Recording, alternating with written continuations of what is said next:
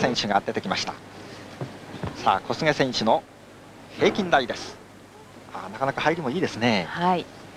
世界選手権でも平均台安定した演技を見せてくれましたので今日も期待したいですね。はい。ここは小菅選手の見せ場なんですね、はい、後方伸身宙返りの3回連続という国際的にもまだ数少ない連続技です。はい。女子の方の出場資格は12歳から15歳までになっています小菅選手は15歳高校1年生です。アメリカ・インディアナポリスで行われた世界選手権では女子の個人総合12位という好成績を挙げました。相当あれが自信になっているようですね。そうですね。昨日も私演技を見させていただきましたけれども、はい、もう15歳ジュニアというにはもうベテランにも入ってくるような落ち着きのある演技になってきましたね。そうですね、はい、平均台も安定した演技を見せています。小菅真理140センチ。35キロです。あ連続ですね。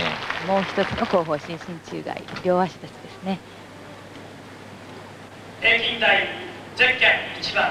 ディアナ・マルツァードイツ。昨日の個人総合ではこの大会17年ぶり岡崎里子選手以来17年ぶりの優勝を果たしています。さあ小菅フィニッシュに入りますニッシュはムーンサル通り見事に決まりました。やはりもう内容は国際に十分通じるものがありますね。そうですね、はい、いい演技ですね。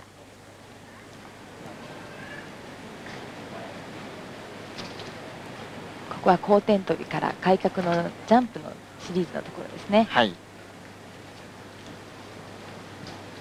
ここからが小杉選手のフィニッシュなんですねロンダートから屈伸のムーンサルトイです。誰ですか？着地がちょっと惜しかったですけれどもね、はい、しかし素晴らしい演技ですね,、はい、ね。はい、小菅選手見事な演技で得点が9.800と出ています。東出さん。はい大熊さんどうぞ。この小菅選手ね先ほど自信が出てきたんじゃないかという話ありましたけれどもね、ええ